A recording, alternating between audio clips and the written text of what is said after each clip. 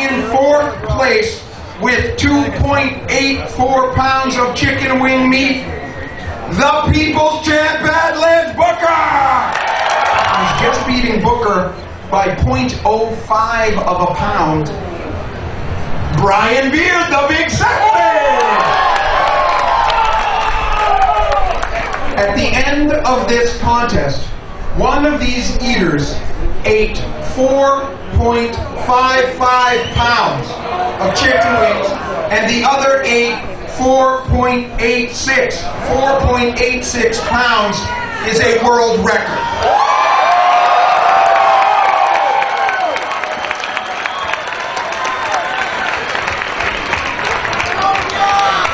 It came down to the